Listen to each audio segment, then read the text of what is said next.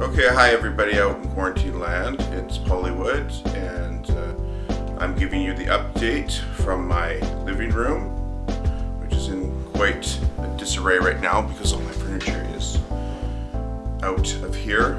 It's a long story and not one that I'm going to go into right now. I'm recording this um, before I have to go into work, and I figured I'd make this quick.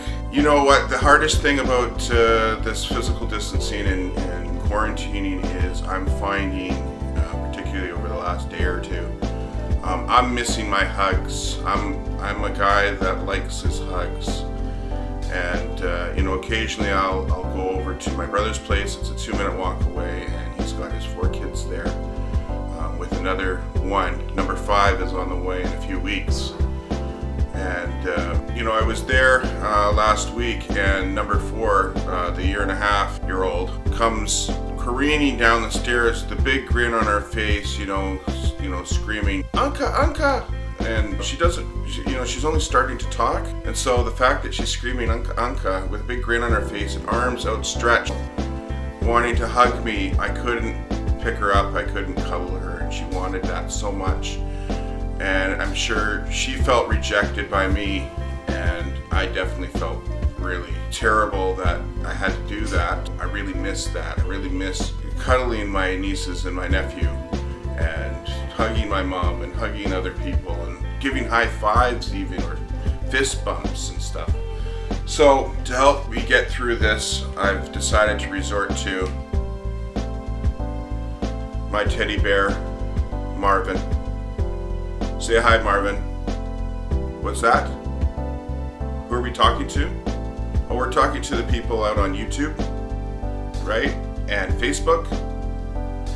And we're gonna show them how to get through this and how to deal with with uh, hugging without actually hugging people because you're not a person, you're a bear. And bears don't get COVID-19. However, just to be on the safe side, we are gonna kind of clean you off a little bit. So we're just gonna give you a little spray. There we go. She will get the nose too. Watch. Make sure you don't breathe it in. There you go. Okay. So, I've had Marvin since I was a little child, um, probably about five or six. I can't remember exactly when. Um, I got him for Christmas one year, and yes, we've had some hugging moments before. You know, as I've gotten older, he's kind of spent his time on a special reserve part of my shelf, you know, where he kind of looks over my room and keeps an eye on me. But I decided to bring him out because I need hugs, so there we go. Yeah. There we go. One more? Okay.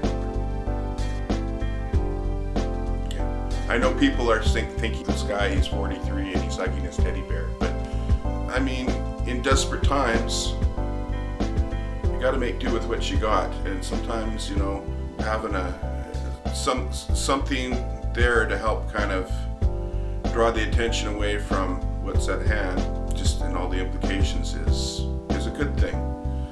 So if you have, you know, your your your teddy bears, your old teddy bears, you know, make sure they're sanitized and stuff like that. But you know, if you need a hug, particularly for us single people who are living at home and there's nobody here, and it's really tough. I know you might you might be living with your your spouse or partner and children, and might be you know sneaking hugs here and there, but you know when you're at home, you really miss the the physical intimacy of a hug or even like a, a high five or a fist bump.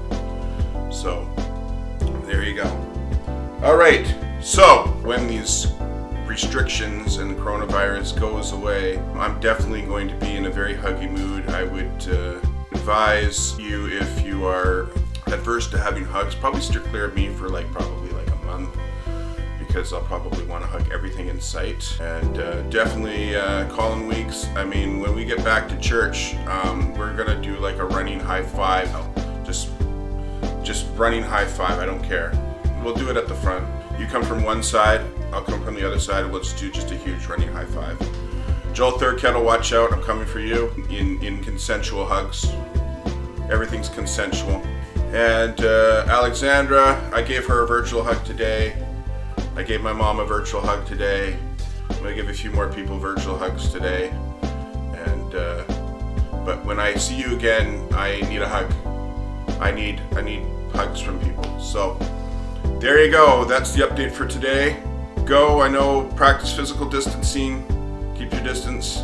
Don't high five. Don't hug. You know, for real. But if you got your teddy bears or your other stuffies, clean them off. Practice, you know, cuddling with them. You know, hey, whatever. All right. See you guys later. Bye.